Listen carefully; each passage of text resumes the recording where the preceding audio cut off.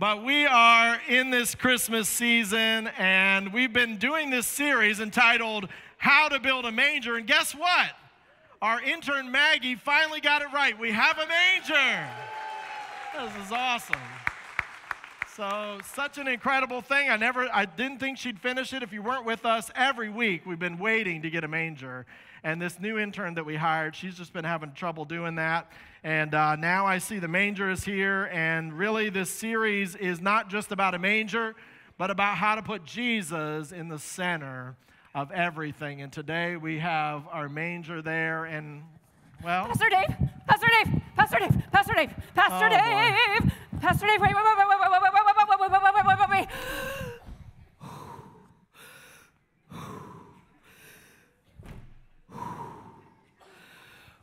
Just wait. Okay. Hi, Maggie. Hey, How are you? I'm, uh, What are you doing here? I'm, oh, man, I'm so sorry. My timing is always off. Maggie, I'm not sure if your timing is off, but your outfit is really off.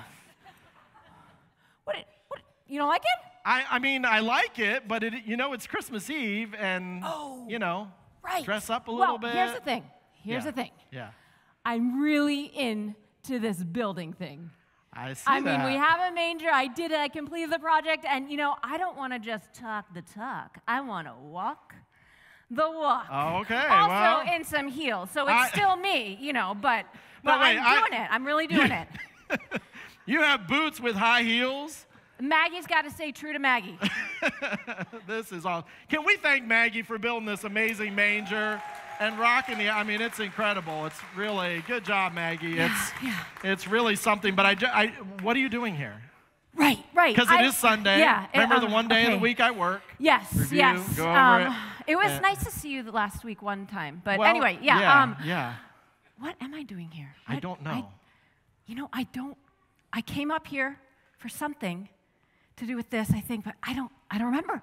You know, my mind is just so filled with all the things that I've been learning this whole Okay. past month. It's just been amazing. I just I can't remember little Tell things us. right okay. now. Tell us what. I mean, you've you've done a lot. This is, by the way, amazing. After you. last Yeah. week, I wasn't sure that this was going to happen, but I It's mean, the outfit. What's been going on? Maybe it's the outfit. Do you have a moment? Do you mind if I? Oh, you know what? We don't have service tonight. You have all the time in the world. All right. So I, you're here anyway, so go ahead. let me tell you what has happened. yeah. So, about a month ago, you came to me and asked me to do this project, and I really thought, no, I'm not building a manger. I had a really bad attitude. And then you gave me the blueprints, Yep. and when I followed them, they actually were awesome. So, thank you for that. And then the pile of materials that we had delivered here, I thought nothing was going to come of it. But I used them, and it worked. And I changed my attitude, and look what we have. Can we look at it? Yeah. Huh? Yeah. It is great. I Isn't mean, it's it? It's, it's is it- it's solid. even sturdy It's good, right? yeah, it's Yeah. amazing. I mean, last week I don't know how you did this. This I is know it's so good, you know. really and good, yeah. It's it just it does make for a nice little backdrop, and Well, I remember what I'm missing. okay. I'll I'll be back. Oh, okay. I yeah I, I got it. I remember. Okay, well, I guess um, I'll be here. And while I'm here, maybe I'll preach a service today. Never know what's going to happen with Maggie, but we thank the Lord for today. Amen? Amen. Come on, thank the Lord for Maggie. So we have a manger, and today I want to talk to you about the big reveal. Because it's not enough to have a manger, something's still missing, isn't it? how to build a manger. I want to share some scripture with you today that's going to be very familiar to you. After all, it is Christmas Eve. And it's an incredible time to hear once again a story that has literally changed our lives. And I love it today that we have the children in the room because if you notice today, the room does not sound stale and sterile, it sounds alive. Can I get an amen? And, church, that's a good thing when the church is alive. Come on, give the Lord praise for that. See, I think sometimes we try to button everything up at Christmas time, and we try to make tradition work the way tradition should be. But just like today, tradition is nothing if we don't celebrate it with the ones we love. In the same way, Christmas is nothing unless we remember the real purpose and the real presence that needs to be a part of this Christmas season. We've been talking, if you haven't been with us, it's okay. I'll catch you right up to speed today as if you were. We've been talking about building a manger means building our life in such a way that Jesus is alive in us, at the center of every desire and every decision. And just like Maggie has been needing to learn how to trust the blueprints and understand what raw materials were needed, and then she had to pick up her hammer and get to work, in the same way, building a life centered around Jesus takes the same intention. Let me make the illustration to you today completes. Building a life centered around Jesus doesn't come naturally. Have you noticed that? Life has a way of robbing us of the spiritual in replace of the natural because when we open our eyes in the morning, our eyes and our ears and our life consumes us with the temporal. And if we're not careful, whether we've heard of Jesus or not, we will spend our lives engaged in the things of this life and miss the significance of a God who is calling out to us, saying, There is more to this life. There is more than what our eyes see and our ears hear. So, building a life centered around Jesus is accomplished when, first of all, we trust God's unique plan for our life. In other words, God has a plan, a master plan. And that plan involves saving the world, but it also involved you. You are a part of the story. God can develop a plan where all of humanity from all time is incorporated into that plan, and we get to come into the plan, but the ending is not determined. That's up to us. The ending of our story, that is. God has his ending that's already confirmed, and he knew what he was going to do, but we join the plan or we miss the plan based on our own decisions, whether we're consumed with this world or we're interested in what God wants for our life. And then we need to understand that we are the raw materials that God chooses to use. You and I, this is an incredible statement. It's a very theological statement, if you'll allow me to say that today. The fact that us as humans, with all of our flaws, can actually be a part of God's plan. That's an incredible statement. And either you believe me today or you would look at that statement if you maybe never heard it before and go, that's an incredible statement about God, that He wants to include us in His plan by giving us an invitation to be a part of His work and His kingdom on the earth. And then finally, just like it wasn't enough just to know the plan and know the raw materials, we have to be willing to do what God has called us to do. See, while the plan of God is determined, what you do about that plan is not determined. God does not control what we do with His plan. Some days I wish He would. Most days I'm glad that He leaves it up to us. But when I screw it up really bad in my life, I wish, God, couldn't you just have uh, just intervened in that moment for me and just help me not do that boneheaded thing? The reality is, we all need God, but God leaves the choices of how we will do things up to us. So let me give you just quickly today. We know you've got plans for Christmas. You know, you know, we know you're ready to go. You've got the list. This is just one on the list. So we want to get you out of here today. But I believe it's important on Christmas Eve this glorious day. To, I, I appreciate that you've made the time, like my family has made the time. You might say, I had to be here, but I wanted to be here. Amen. And the reality is, we're making time for something that's critical. While we're not going to be here for hours and hours, these moments together, I believe, can be really valuable and really important, and maybe the most important of what we do over the next 24 hours. And I love that you are here today, kids. You're part of this.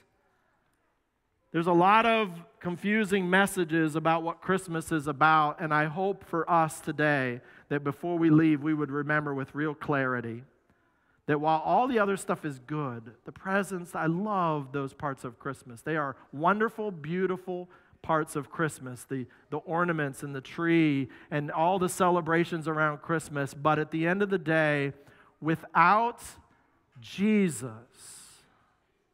in the middle of those things, they would be pointless, meaningless, and lifeless. Let me make this point from the scripture for a few minutes today. And today I want to do something that I don't know if I can do justice to in just a few minutes. But I would like to give you the blueprint of God for why He, in the first place, created Christmas. So let's think about it this way God's blueprint. We've been talking about blueprints and raw materials and getting it done. Well, I'm here to tell you today that God has done that from the beginning, and it's why we can celebrate Christmas today. God's blueprint, we read in Ephesians chapter 3, verse 11, that the, the story of Jesus, this introduction of Jesus, was an eternal purpose. Says that God accomplished an eternal purpose. That means before we sinned, before we were born, God knew that by giving us free choice, we would sin and we would choose wrongly, but it's important that we have free choice. Because people often say, why is there evil in the world? Well, there's evil because there's free choice, and there's free choice because without free choice, it couldn't be real love, and it couldn't be real obedience, and there could be no real worship unless we have that choice. And so God creates the choice knowing it will result in evil, but knowing also that He will make a way. He has an internal purpose from the beginning of time for how He will redeem you and I. And it says here in Ephesians 3 that He, he accomplishes it in Christ Jesus our Lord.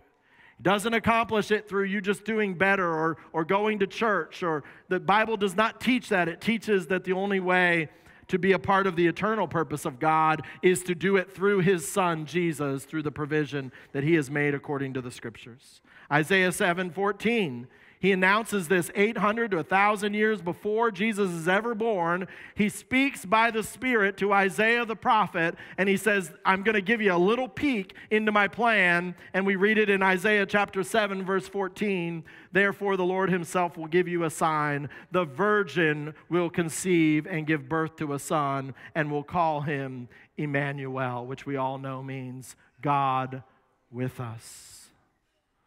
So, God has a plan. He speaks it out to the world. He begins to introduce it and, and speak it in mysteries throughout the Old Testament. But Jesus is coming. I'm going to send one who's going to be born of a virgin who will be called God with you. He will be, a, he will be me with you. And then we see the raw materials. Time passes and we begin to see that God is not going to just do it himself and introduce it to him, but he's going to use humanity to bring his Savior through other humans who are going to help him bring his presence to the earth. And so we see the raw materials. We see Mary in Luke chapter 1, verse 30. But the angel said to her, Do not be afraid, Mary, you have found favor with God. You will conceive and give birth to a son, and you are to call him Jesus. Most likely the first time that name would be uttered on the earth, and Mary gets to hear it. Mary, who is in every sense a normal human, favorite of God, but not different than others. And God calls her out. And he will be great, and he will be called the Son of the Most High. The Lord God will give him the throne of his father David and he will reign over Jacob's descendants forever. His kingdom will never end. All of these are messianic fulfillments. Let there be no doubt that God was declaring that Jesus truly was what the Jews had been waiting for. He was the Messiah, the, the coming king who would come and save his people. Verse 34, Mary says, How will this be? Mary asked the angel, Since I am a virgin. The angel answered, The Holy Spirit will come on you, and the power of the Most High will overshadow you. So the Holy One to be born will be called the Son of God. Let there be no doubt, God, according to the Word of God, was bringing His Son, which was 100% God, to the earth. Then we see Joseph, another part of the raw materials. Joseph, we see that God chooses to use Joseph again, another ordinary person, a man. In Matthew 120, when Joseph finds out that his wife is pregnant, or his soon to be wife, he seem he is going to just do the proper thing and and and have a quiet uh, divorce as would have been the custom. And instead, in verse 20, but after he had considered this, an angel of the Lord appeared to him in a dream and said, Joseph, son of David, do not be afraid to take Mary home as your wife, because what is conceived in her is from the Holy Spirit. God making his plan known to the raw materials, you and I, humans. What about the other raw materials of the place in Bethlehem? He chooses small, insignificant little city, the smallest of the tribe. He chooses two ordinary people. He chooses regular people at a regular place, a little out of the way place, as a matter of fact. And in Micah chapter 5, verse 2, again, hundreds, if not a thousand or more years before the birth of Jesus, God is giving just a small plan, and he talks about Bethlehem in Micah chapter 5, verse 2. But you, Bethlehem, Though you are small among the clans of Judah, out of you will come for me one who will be ruler over Israel, whose origins are from of old, from ancient times. So out of you will come one who is already been, one who is eternal. That is Jesus. And then God gets it done. He doesn't stop there. Let's go to Luke chapter 2 today. Can we read this familiar passage? And today we're going to be moving to a candlelight service in just a few moments and have opportunity for to light candles around the room and to sing and to celebrate this special occasion. But as we prepare for that today, would you prepare your hearts for what the Lord would want to do in you? Here's the big reveal. The moment when God gets it done. Luke chapter 2 verse 1. In those days, Caesar Augustus, Augustus, issued a decree that a census should be taken of the entire Roman world. We'll skip to verse 3. And everyone went to their own town to register. So Joseph also went up from the town of Nazareth to Galilee to Judea, to Bethlehem, the town of David, where he belonged to the house and line of David. He went there to register with Mary, who was pledged to be married to him and was expecting a child. And while they were there, the time came for the baby to be born. I want to stop right there for just a moment. From the beginning of time, God had a plan. Man comes on the scene in the Garden of Eden. Adam and Eve sin. They are separated from God, but God still has a plan for them. Hundreds and thousands of years. God has a plan. He reveals it to Isaiah, to Micah, to others. I have a plan to redeem my people. He gives them types and pictures like the tabernacle and the temple, sacrifices, all pointing ahead. And then a day comes, the time is right. The time is fulfilled, and Mary and Joseph are given the news, and Bethlehem is prepared, and they get there by means of an intervention of the Lord so that they have to travel from Nazareth to Bethlehem. And while they are there, this scripture is profound. The time is fulfilled. Now, what that would mean in the natural is that it's Mary's time to give birth. But what it means in the supernatural is it's God's time to redeem his people. Oh, don't miss it today, church. This is the time of fulfillment. While they were there, the time came for the baby to be born. Verse 7 And she gave birth to her firstborn, a son. And she wrapped him in cloths, and she placed him in a manger. In many ways, you could say that God built a manger. God prepared a manger. God had a plan that included a manger. Again, another symbol, another picture. We forget sometimes that a cross is a sign of death and a manger is a feeding trough. But Christ takes the ordinary things that we know, ordinary people in this story, and now an ordinary city like Bethlehem, and then whatever's on hand a feeding trough for the animals where they would have put the hay to feed the animals.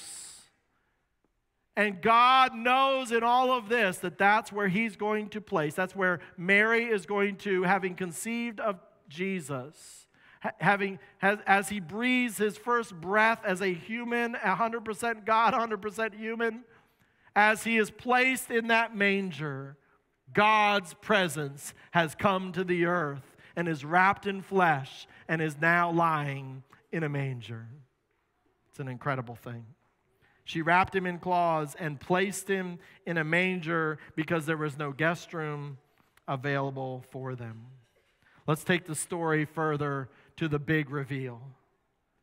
See, if the story ends here and you have Mary and Joseph and they're quietly in this beautiful place, it's a silent night, and there, Jesus is away in a manger, then it's just a beautiful story. And it talks about how God comes to some but no, there's something more that I want you to grab a hold of today. In verse 8, and there were shepherds living out in the field nearby, keeping watch over their flocks at night. An angel of the Lord appeared to them, and the glory of the Lord shone around them, and they were terrified. But the angel said to them, Do not be afraid. I bring you good news that will cause great joy for all the people. Today, in the town of David, a Savior has been born to you. He is the Messiah, of the Lord. And this will be a sign to you. You will find a baby wrapped in cloths and lying in a manger. See, up till this point, the story kind of is normal. Okay, two people gave birth. There wasn't room in the inn. They're in a stable. That's a bit unusual. There's a baby now laying in a manger, but now the big reveal is it's not just a baby, it's the Messiah. He is the Messiah, the Lord. And as the shepherds hear this news, suddenly a great company of the heavenly hosts appeared with the angels, praising God and saying, Glory to God in the highest heaven, and on earth peace on those on whom his favor rests. Remember that God's favor was lying on Mary, and the angels are announcing it's not just a favor that will lie upon Mary, it is a favor that rests on all those on whom God would bring peace to the earth through his Son.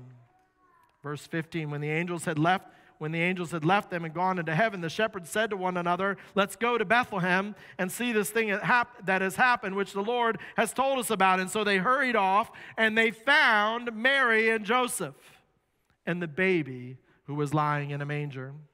And when they had seen him, they spread the word concerning what had been told them about the child. And all who heard it were amazed at what the shepherds said to them. But Mary treasured up all these things and pondered them in her heart. The shepherds returned, glorifying and praising God for all the things they had heard and seen, which were just as they had been told. This is an incredible story. We've heard it so many times before. It won't be the last time we'll hear it, it won't be the last Christmas where we understand this truth, but to this year, this time, this moment, can I help you to see something that I pray you've already seen, but if you haven't, would it come just resting into your spirit today? The birth of Jesus was a demonstration of the love of God, and it was God's presence coming to the earth and his presence was in that manger, Jesus lying in a manger, but his presence was doing more than that. It was coming to an earth that was in desperate need of a God who would draw near. And when he draws near, he invites all of us through all humanity from that time over 2,000 years ago till today. The invitation has been going forward that we might enjoy the presence of God, not in the manger. Jesus is not in the manger anymore. Jesus is now available to us by faith that we might come into us. We've been talking a lot about a manger and building a manger and getting a manger ready for the church and, and, and, and having Jesus there. But the reality is that it's all a type and a picture. Yes, he came and he came to this earth in a literal sense and he lived on the earth and he didn't just live on the earth but he taught great things. He taught and we read about that throughout the scripture but he didn't just teach and he did miracles signs and wonders proving his divinity and God's favor on him. And but that's not all he did. He took it to the cross where many years later 33 years later he died spread out his arms on the cross and paid what the Bible says was a sinner's penalty for sin so that God might be truly just to judge sin, but also truly loving to accept you and I by that free sacrifice of Jesus. And I've been studying the Word of God for many years, and I've been living for the Lord for many years. And the reality is, there's part of it that's a mystery, and part of it you begin to understand as you open the pages of Scripture. But the reality is, this is what the Scripture teaches, this is what God has communicated through His Word that he has taken Jesus' sacrifice on the cross of Calvary to be a propitiation, a, a sacrifice, a payment for our sins. That if we would believe on that sacrifice, believe on Jesus, put our faith and trust in Jesus, that by doing so, we can be forgiven of God for the sin and the sin nature and the, and the devastating way in which we live our lives. God isn't looking for polished up people and finished people. He's looking for a people who would be humble enough to say, I can't get it together on my own. And this Christmas, we remember that the significance of Luke chapter 2 was not really about the manger. Jesus came, he laid in a manger, maybe for a night, maybe two. And then he was removed from the manger, and they would have gone on to other places. And we don't know a lot about those details, but he, he certainly didn't stay in the manger long. But why had he come to the manger? Why was he there? not to dwell in a manger on our mantelpiece, although I think that symbol is beautiful. He came that we might know that God loves us and that we might know that God invites us to, through the sacrifice of Jesus, receive Him into our life, that this heart of ours would be like a manger, prepared trusting that God truly has a plan for our life. Just trusting and saying, God, I may not understand it all, but I trust that you have a plan for my life. And trusting that He wants to indwell within me. I don't understand that, but that He wants His Son Jesus to come into my heart by faith, by the indwelling of His Holy Spirit within me, that I could be a part of His plan on the earth. And really, every person has a heart, an open manger, an empty manger, a manger that is not filled, a manger that is prepared. And maybe today your heart is hardened to the things of religion because you've seen the way man truly messes it up so many times. Maybe you're here today, you're a believer, but you just think, you know, I'm just not sure how much I, I appreciate that that that happened, but I don't see how it impacts my life. And so your heart becomes hardened with all the other things of this world. And, and Jesus is in there, but he's crowded out by other things. And I would encourage all of us today to take a fresh look at the heart, the place where we make the choices in our life, our will, our desires, to say, Jesus, I want you in the center of every desire, every decision. I want you there. And mostly, Jesus, I need you there because without it, my life is doomed. Without it, my life is pointless. But with you in my life, I can be saved. With you in my life, you can dwell in that holy place. You know, earlier we were uh, watching Maggie come into this place, and she ran up to this manger. And I noticed right before she left, she said something. And I've been thinking about that as I've been preaching this morning. I think Maggie got it earlier. Earlier, Maggie said she'd been learning a lot and she'd really been getting this thing figured out. And she said she had built a really nice backdrop. Can I tell you something about the backdrop of the manger? The manger is not a backdrop, it is the centerpiece. It's the centerpiece of this entire Christmas season. And I wish that Maggie, Maggie, hi, Maggie. I wish she'd have gotten it. Hey, Maggie, how are you? Yeah, that's it. You know what? Do you mind if I do this? You remembered. I remembered. Yeah. Yeah, go ahead. Thanks. See, what hasn't happened yet and needs to happen today is to remember that the manger is the place for Jesus to reside. The manger this morning represents Jesus in your heart. And uh, you know what, Maggie? I think this is what we need to do today.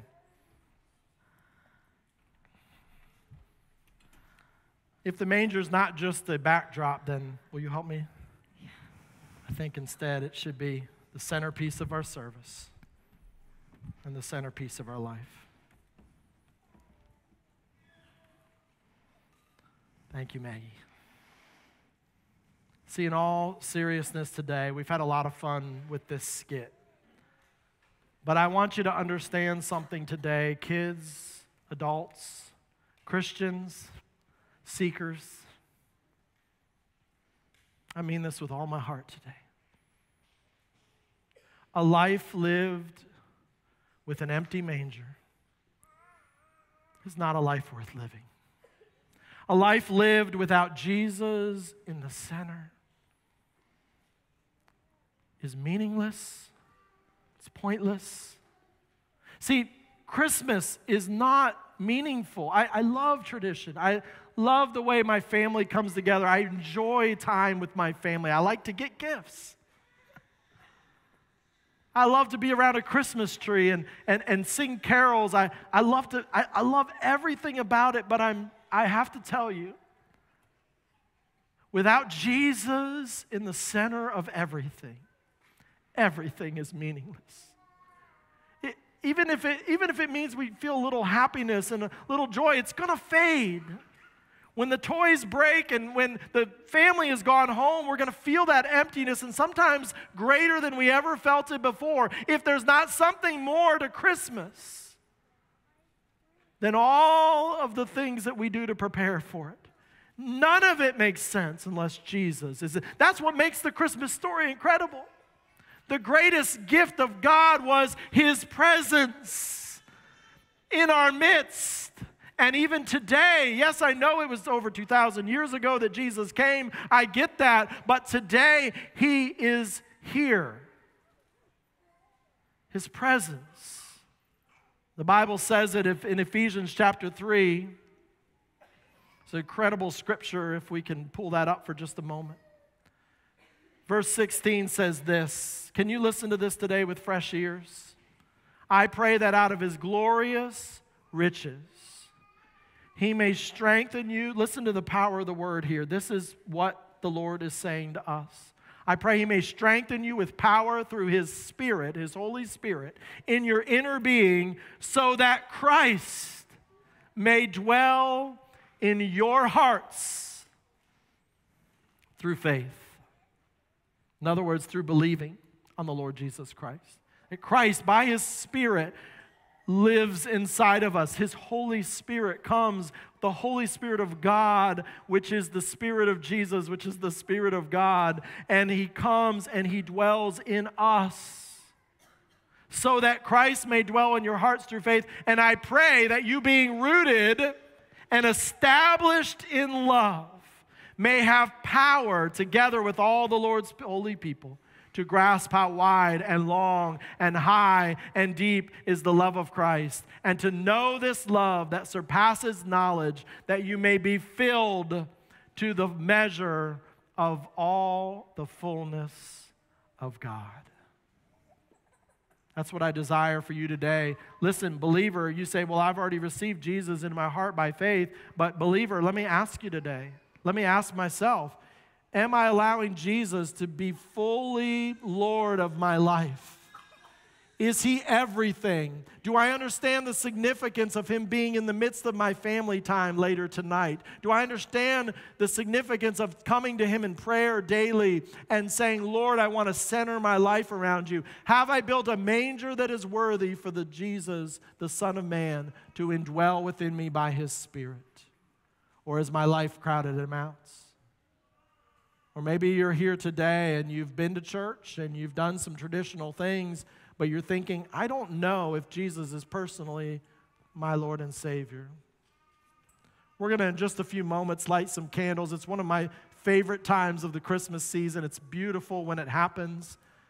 But before we do that and we begin to make space in our service for that, can you close your eyes today? And I just want to ask you, everybody across the room, even kids, if you just close your eyes for just a moment. This is not just for the adults.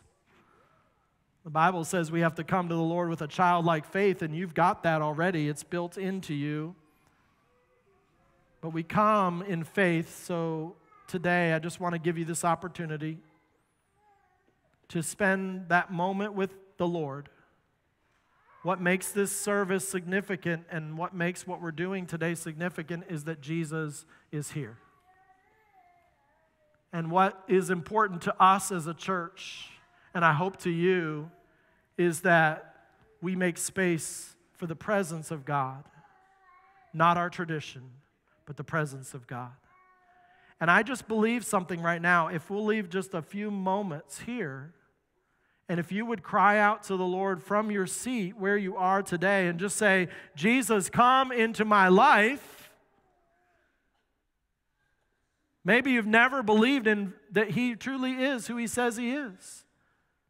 Maybe today you're understanding for the first time that, my goodness, I, I realize now that God really has done this thing for me and my family.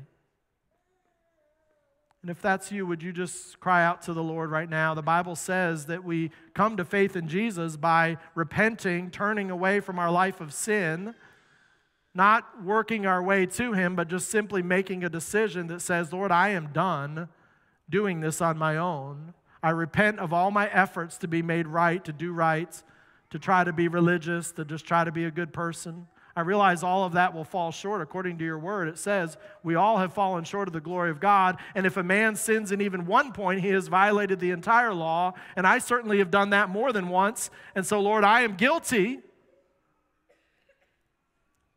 That you would just say to the Lord today, Lord, I repent of my sins.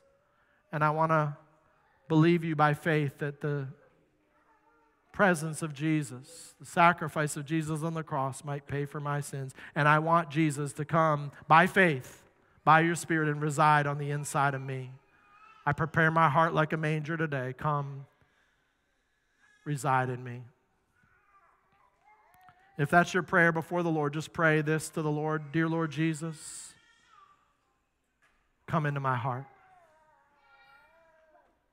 I receive you to myself. I believe that you died on the cross for my sins, paid fully. And now, Lord, I receive you. I want you to be Lord of my life. I need you to change me from the inside out. And I look forward to being with you in heaven one day. For you are the way, the truth, and the life. And I come to you today through you for salvation. In Jesus' name. And if you're here today, you're a believer, you say, Pastor, I've prayed that prayer, I get what you're saying, but my life is not reflecting it. As we go to the candlelight service today, and we start to move about, and, and candlelight will come towards you in just a moment, I want to encourage you as we sing Silent Night and sing together that you might say, Jesus, let the light of Christ dwell in me. Let my life not be crowding out the importance of Jesus in this season. I'm going to ask at this time that our elders would come, and we're going to invite the staff to come up on the platform and our families, and so we can do this as a family. Going to invite you guys to come up. Yeah. Come on up. One of the things that we're understanding as a church is that we are uh, we're a families church. We're a church that has lots of incredible families. And we will never shy away from the fact that whether you're a single person or whether you have a family of 18 or 19, we all are part of the family of God. I want to ask you if you'd stand to your feet and you can prepare your candles. If you didn't get any candles, we have some in the back here, and uh, maybe if we had a few that could help you out there, but you can grab your candles now and It'll take a little moment for us to light them, but this is such an incredible moment. And I encourage you with a couple things. Help your kids however you can. We do have small little votive uh, battery powered ones for the, the wee little ones among us. There's some more of those in the back as well.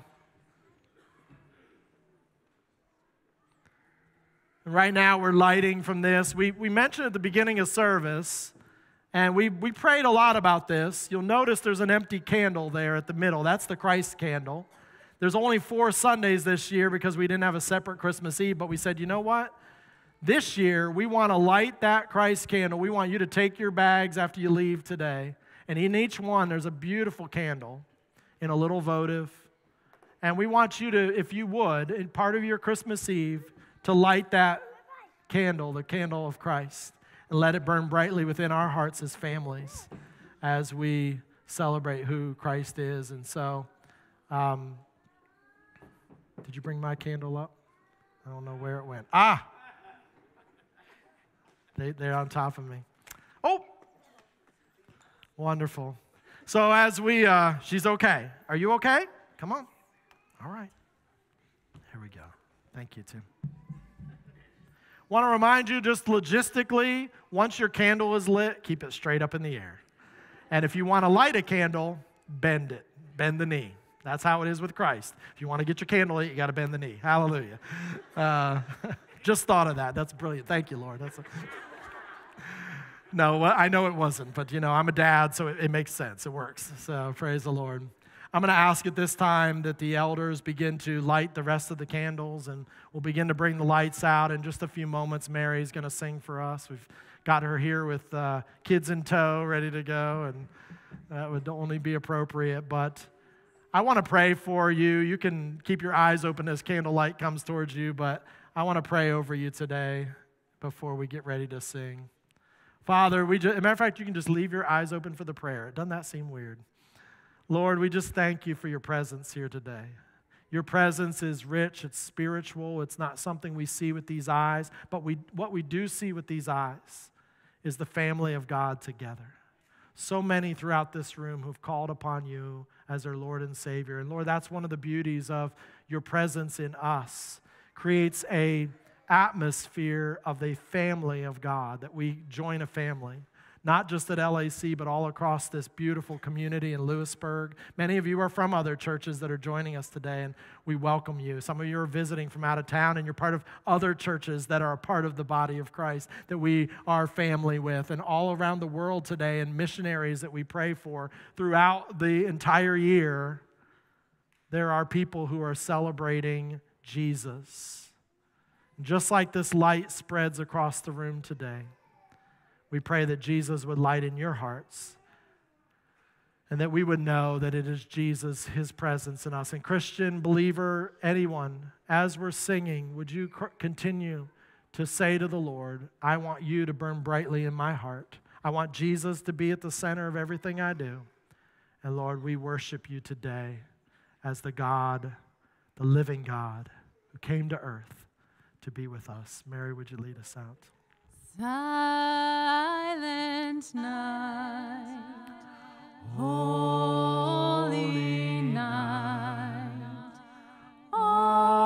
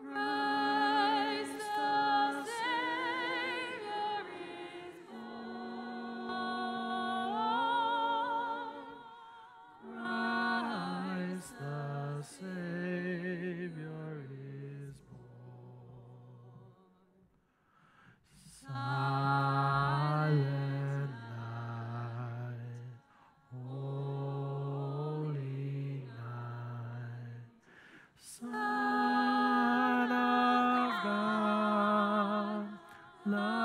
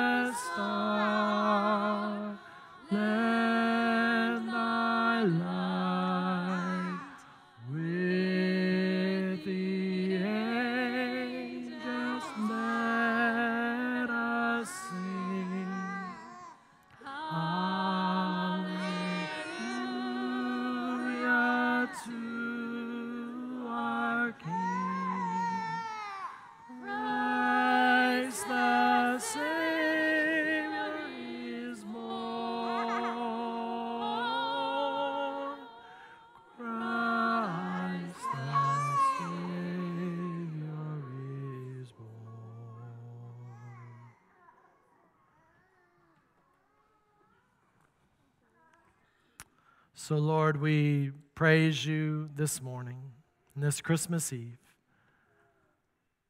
for the light of the light of this world, light of the Son of Man that shone down on us, shines down on us today. And Lord, as your life is in us, may we not hide it under a bushel.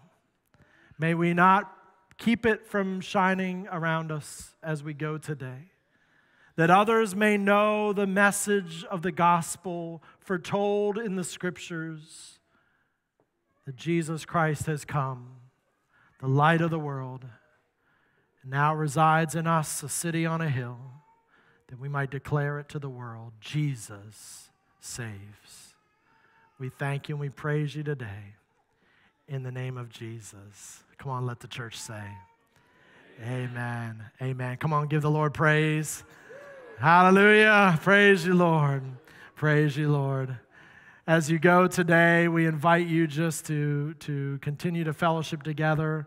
Merry Christmas. Good. God bless you all. Have a great rest of the day and a great Christmas tomorrow. God bless.